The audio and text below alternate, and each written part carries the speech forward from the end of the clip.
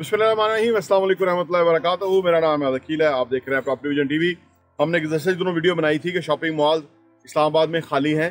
गुलबर्ग में हमने बताया, और जगहों पे भी खाली हैं इस वक्त, क्योंकि मॉल के अंदर लोग गाड़ी से उतर के जाते नहीं हैं। और लोगों के पास वक्त नहीं है। पता नहीं किस चीज़ की जल्दी है कि लोग बाहर से चीज़ें शॉपिंग करना पसंद करते हैं।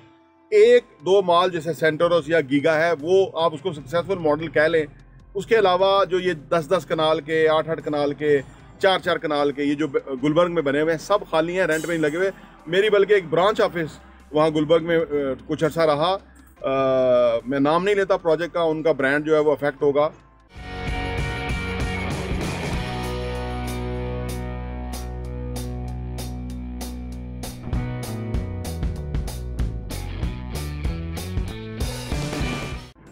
वहाँ पे रहा।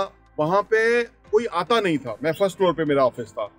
और वहाँ और जो लोग हैं, वो भी छोड़ के चले गए हैं। और, वो अभी तक नाकाम है। पिछले पाँच साल से वो डिलीवर हुई हुई है। इसके अलावा और बहुत सारी, उसकी बहुत पेशवार वजूहत हैं। देखिए, हम किसी के, किसी को हमें हर्ट करना मकसद नहीं है। हमें इन जो रियल स्टेट के जो मुख्तलिफ़ शोबे हैं, उसके अंदर जो भी लोग काम करने वाले हैं, उनको सीखना चाहिए। उनको आर्गूमेंट देना चाहिए। आप अपना चैनल बनाएँ, उस पर आगे बात करें जुरत करें आप। ठीक है ना? तो हम मेहनत से कंटेंट बनाते हैं। हम लोगों को दिखाना चाहते हैं, बताना चाहते हैं, सिखाना चाहते हैं, समझाना चाहते हैं। उनको सामने हकीकत रखना चाहते हैं। और ये हकीकत बेहद ज़रूरी है सामने आना। आइए इन मौजूद पे बात करते हैं। देखिए, हमने जो जो रियल स्टेट के फॉर्म बेचते हैं ना सोसाइटी आजकल ये हुआ कि हर बंदे ने ना सोसाइटी बना ली है। कोई सोसाइटी 20 साल पहले चली थी, वो फार्म बेचे थे। फार्म बिकने के बाद वो आगे डेवलपमेंट नहीं कर सके। उन्होंने कोई एक एक आध तरह का एनओसी ले लिया था। उसके बाद अब क्या हुआ कि जो वो बंदे किसी और डीलरों से आके मिले, उन्होंने कहा, जी, हम उसको टेक ओवर कर लेते हैं। उन्होंने वो सोसाइटी ले ली। पहले ने जो बेचे थे, वो क्या किए, कितने बेचे थे, कोई पता नहीं। दूसरे आगे उन्होंने फार्म बेचने शुरू कर दिए। एक एक जगहों के ऊपर जो रियलिटी है दस दस सोसाइटियाँ फार्म बेच रही हैं। देखिए, हम अगर बात नहीं करेंगे ना तो ये मुनाफ्त होगी। मुनाफ्त हम नहीं करना चाहते। हमने, हमारा जो प्रॉपर्टी विजन टीवी है, उसके अंदर हमारी ज़ात के इंटरेस्ट के अलावा ये इंटरेस्ट शामिल है कि हमें, हमने लोगों को एजुकेट करना है, लोगों को बताना है, उनको क्लैरिटी देनी है, उनको अंडरस्टैंडिंग देनी चाहिए। पाकिस्तान इस तरह तरक्की करेगा। अगर चंद लोग लोगों को लूटते रहे तो ये ना कोई इंडस्ट्री चल सकेगी।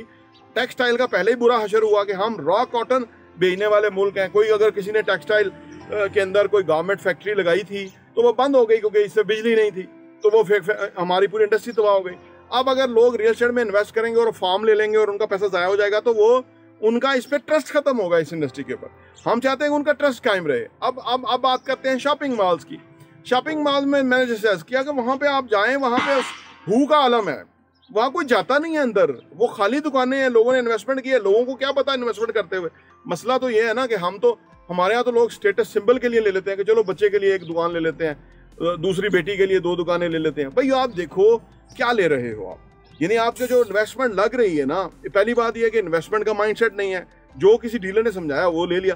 पहली बात यह कि आप देखेंगे क्या चीज़ ले रहे हैं। फिर देखें कीमत क्या है। फिर देखें उसका फ्यूचर क्या है। हाँ अगर माल का मैं बात करूँ कि दस साल के बाद शायद उसका फ्यूचर आ जाए, लेकिन ये दस कनाल वाले मालों का फ्यूचर नहीं होगा। जो कि आप जाएँगे और आप उतर जाएँगे, क्योंकि आप दुकानें पंद्रह, बीस, पचास, सौ होंगी, फिर लेंगे। हाँ बड़ा माल कोई बने। ये सेंटर्स भी बहुत बड़ा माल नहीं है। वहाँ तो मैं तो मैंने देखा है कि अक्सर लोग जो जो डिसेंट लोग हैं, वो जाते नहीं, वहाँ रश है। आप गाड़ी फंसा के बैठ जाएँगे, वापसी पे निकलते हुए फंसा देंगे।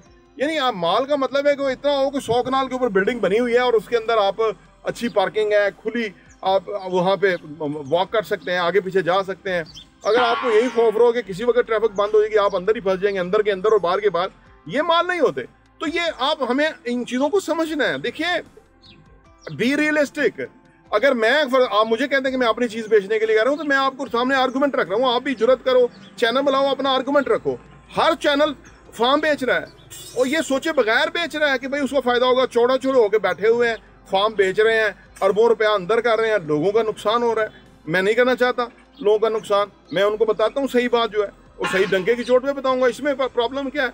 जब कोई देखिए, जब हमने हमने चीज़ों को बदलना है तो फिर हमने बदलना है चीज़ों को। इसमें अगर किसी का कोई फ्रॉड लगा रहा है, उसका फ्रॉड खराब हो रहा है तो हम हमें नहीं केयर करनी, हमें लोगों केयर करनी है जिसके साथ फ्रॉड हो रहा है। हमने उसको सेव करना है। हमें तो हमने तो तैयार किया हुआ है और हम कर रहे हैं अलहमदिल्ला और आपसे गुजारिश है कि हमारे चैनल को आप सब्सक्राइब करें और दूसरे लोगों के साथ शेयर भी करें, ताकि उनको समझ आए कि क्या चीज़ खरीदनी चाहिए। हम डिबेट करते हैं, हम आर्गूमेंट आपके सामने रखते हैं, हम आपको अख्तियार फिर भी देते हैं। हम आपको नहीं कहते कि हमारे प्रोजेक्ट में आगे इन्वेस्ट करें, हम अपने प्रोजेक्ट में इन्वेस्ट करने करते वक्त कहते हैं एक दफ़ा आप हमें विज़िट करें।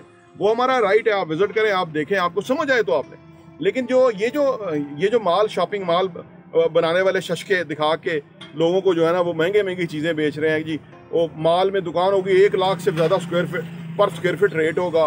भाई, आपका प्लॉट महँगा है, आपकी कास्ट ज़्यादा है, लेकिन वो इन्वेस्ट करने वाले का क्या फ़ायदा होगा? आप उस तरह की प्रोडक्ट बनाओ कि जो लोग लोग डाइजेस्ट कर लें, जो जो कल्चर के अंदर एक्सेप्ट हो जाए, जिससे लोग फ़ायदा उठाएँ। अभी हम बहुत उस लेवल पे नहीं पहुँचे। दस साल के बाद के लिए अगर आप आज किसी का पैसा लगवा रहे हैं तो मेरे ख्याल से कि वो ऑनेस्टली स्पीकिंग कि वो फ़ायदा नहीं है। आपका फ़ायदा होगा, उसका नहीं है फ़ायदा। तो आपका फ़ायदा, सारे लोगों का फ़ायदा होना चाहिए ना। विन विन होना चाहिए, ऐसी चीज़ होनी चाहिए। हम जो अगर किसी प्रोजेक्ट की, के अंदर इन्वेस्टमेंट कराते हैं तो हम जो रेट दे रहे हैं, हम इस इस नियत पे वो बेच रहे होते हैं कि कल को अगर वो छः महीने के बाद भी हमें कहना कि ये बिकवा दें और हमें प्रॉफिट दिला दें तो हम देने की पोजिशन में हो। इतना नीचे रेट बिल्डर से कराते हैं हम। इतना रीजनेबल करवाते हैं हम, ताकि अगले का उसके अंदर जूस रहे मार्जिन रहे। और वो फिर अगर अगर लॉन्गर पीरियड के लिए, तीन साल के लिए वो पूरी इंस्टॉलमेंट दे सक, दे सकता है तो उसका पैसा डबल हो। वो हमारा फ्यूचर क्लाइंट बने। अभी एक चीज़ लेगा, तीन साल के बाद तो लेगा ना, किसी को रेफर करेगा तो काम करने का ये तरीका है। बजाय कि हम इतनी महँगी महँगी चीज़ें बेचें।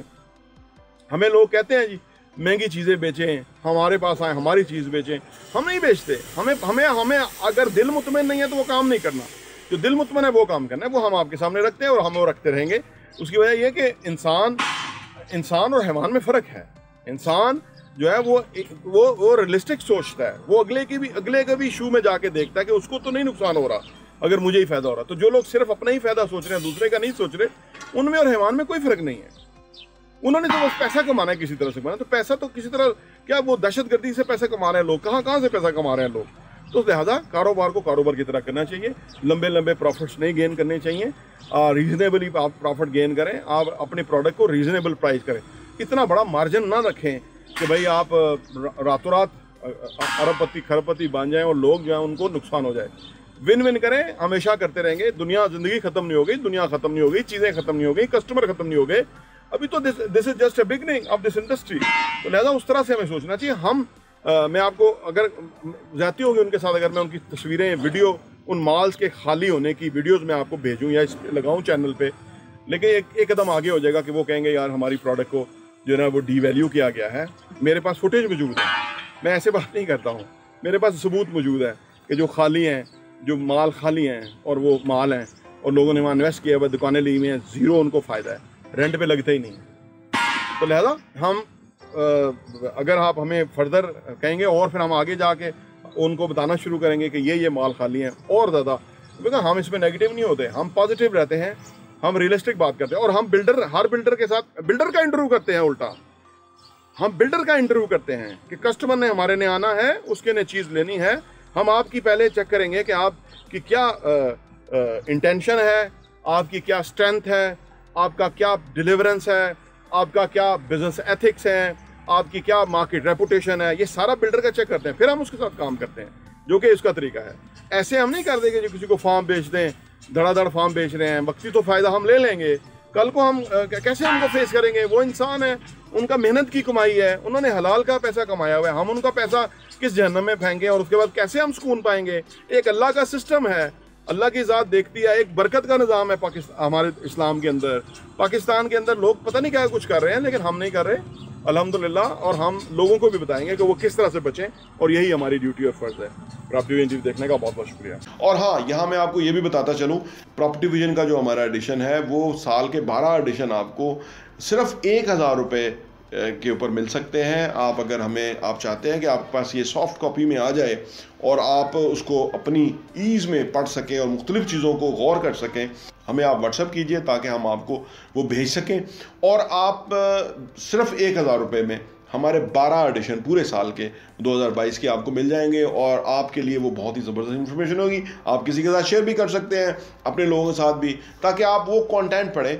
वो मवाद पढ़ेंगे, जिस तरह आप अच्छा कंटेंट पढ़ेंगे कि कैसे पैसा कमाना है, कैसे पैसे को मल्टीप्लाई करना है, कैसे पैसे की टेक केयर करनी है, कैसे पैसे को जो है ना वो सही जगह पर डायरेक्शन पर लगाना है, कैसे एसेट्स बनाने हैं असासों से किस तरह कमाना है, और वो कमाने के बाद उन पैसों को किस तरह से इन्वेस्ट करना है, इस तरह की बहुत ही ज़बरदस्त इन्फॉर्मेशन जो है, वो रियल स्टेट के हवाले से हम प्रॉपर्टी विजन के मैगजीन के अंदर पब्लिश करते हैं और वो हम आपको इंशाल्लाह भेजेंगे। सिर्फ़ एक हज़ार रुपये में बारह एडिशन आपको मिलेंगे।